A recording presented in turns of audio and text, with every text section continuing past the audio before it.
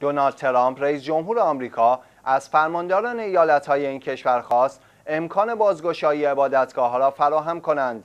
به گزارش شیه وبز به نقل از آسوشیتد پرس ترامپ گفت امروز من عبادتگاه ها را جزو اماکن ارائه دهنده خدمات ضروری تشخیص دادم.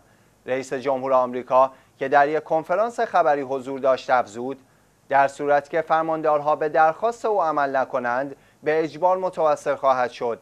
درخواست بازگشایی عبادتگاه ها در آمریکا در حالی صورت می‌گیرد که علیرغم درخواست های مکرر شیعیان و محبین اهل بیت علیهم السلام و نیز اذعان کارشناسان ستاد ملی بحران کرونا در ایران به تصمیم عجولانه در بستن حرم های متحر این حرم ها همچنان توسط حکومت بسته نگه داشته شده است. این در حالی است که تقریبا اکثر مشاغل و خدمات اجتماعی تقریبا به حالت عادی خود بازگشتند.